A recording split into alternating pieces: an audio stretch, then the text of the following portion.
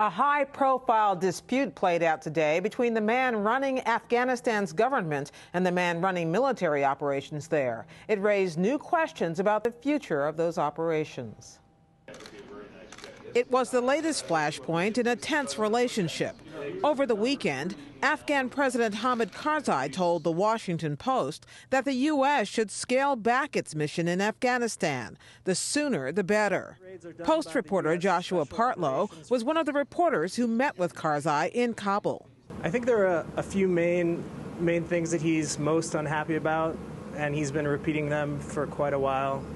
One is civilian casualties. He's upset that NATO and U.S. forces have been killing innocent civilians in the course of their operations, albeit at lower numbers than it used to be. He's upset that soldiers are going into Afghan homes and, and looking for Taliban commanders. And he's also, I think, in general, just upset that there's so many troops in the Afghan countryside, on the roads, uh, in people's houses, and, and he's responding to the anger that he hears from Afghan people. Karzai also wants the coalition to stop so called night raids, joint operations between coalition and Afghan special operators. In the past eight months, they've risen about sixfold. They do about 200 operations a month, and generally they're going after high value Taliban or insurgent targets. They're trying to go into people's uh, you know homes or find them wherever they are and capture and and kill these guys and disrupt the network. The man in charge of that strategy is General David Petraeus, the commander of NATO and American forces in Afghanistan.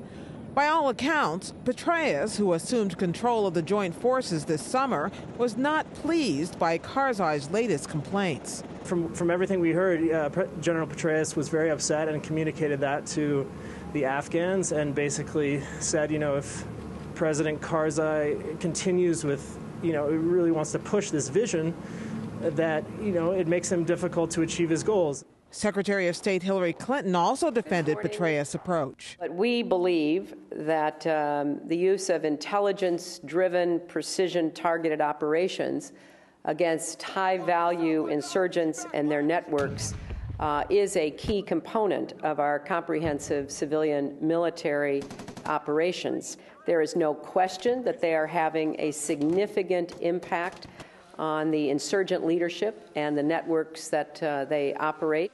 The reclusive Afghan Taliban chief Mullah Omar also weighed in, appealing to Muslims worldwide to assist in the war effort and promising that the Taliban would increase operations throughout the country.